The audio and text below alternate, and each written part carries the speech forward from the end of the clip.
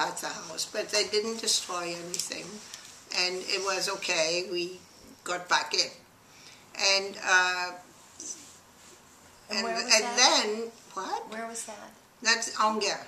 We that's where I grew up in Angers, which is ten kilometers, no, ten minutes outside of Paris. Ten. You take the Gare du Nord. I want. I wanted to go, but it was too short. I wanted to go. Next time. Yeah, next time. And You've uh, been back there. Not to Angers. You haven't. Yeah, we went as kids. We went to Angers.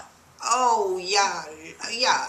Oh, Yeah, and we walked down. We were walking Oh, down the street Italy, looking that's for your house yeah, yeah. with Oma. Uh, oh yeah, gosh, that's a long, long time ago. Was I know, but it there? the house was there. Remember? yeah, and they didn't and we and who was that woman that Oh, Oma? N- Madame Blavier next door. She helped us. You know, we went to see. Right, but your but Oma ran into. They, they saw each other coming down the street.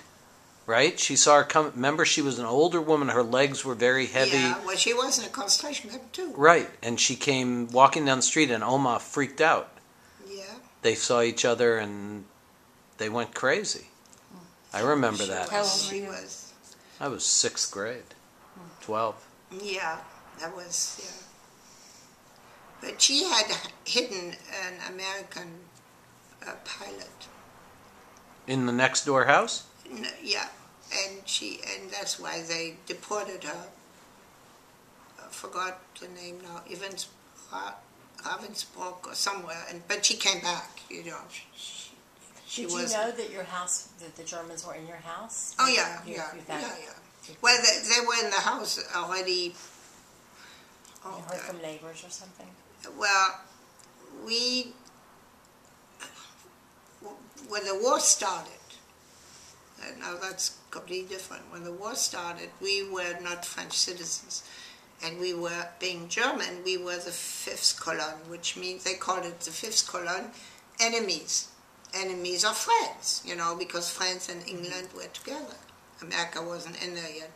And uh, so uh, we were the enemy, and the husbands were not the not the families, and it was not Jewish, not Jewish. It's all together mixed. Uh, the uh, husband, they, my father was in Drancy, which is a concentration camp in, outside of Paris, uh, but it, they didn't kill you. A detention camp. They It called it did- detention. yeah, right. Yeah. And then, uh, well, we couldn't visit or any of that.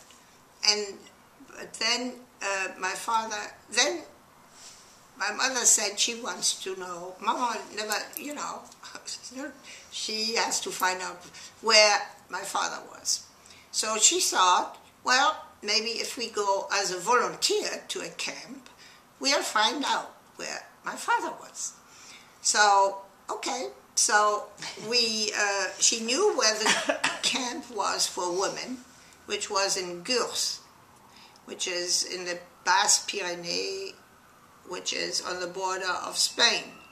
And the, barracks there were for, during Franco's war, you know, the mm-hmm. Spaniards came over, and so they were in those before, and before us. And then, so she took, I remember, she took the suitcase, and one thing she took with us was a, feather, a down uh, Duvet. duvet, a duvet.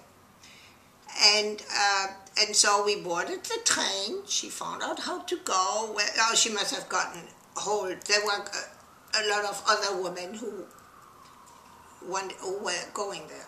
So this is now what you're about. I don't know. That well, that the war started uh, in September of 39. 38, 30.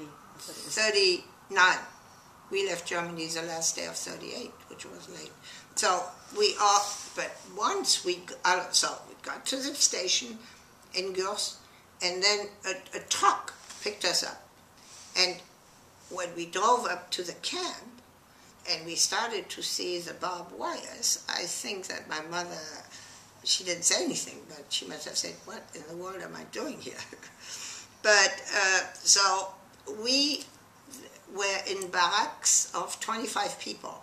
So you just volun I mean, you just went to the barracks and said, we'd like to stay here?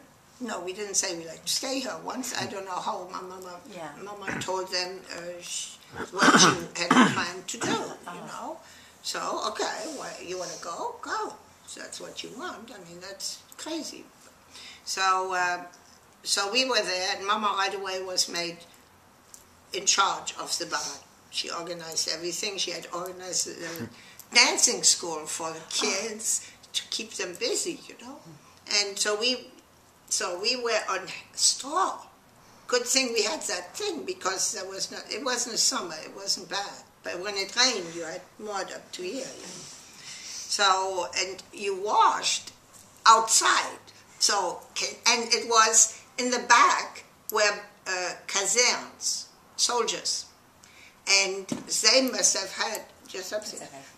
They must have had. I thinking now at that time, I wasn't aware of these things. I was 11 at that time, and or 12, and uh, they when they, I mean the women, the young, there were a lot of young women with their children.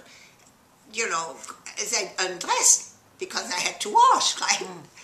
So anyhow, um, so we stayed there for a while, and the food, what you can imagine, a group pain, four pound bread for a whole day for 25 people. Oh my goodness. And my mother, um, there were s- still some shoemakers and bakery who were ba- who baked for uh, for the can, and they were Spaniards, you know, and but they were not in the barracks. They were just happened to still live there, and so my, what my mother did, she were escorted by, of course, French soldiers. They were harmless, you know. She went since she was in charge of the barrack. She uh, and she got bread and stuff for everybody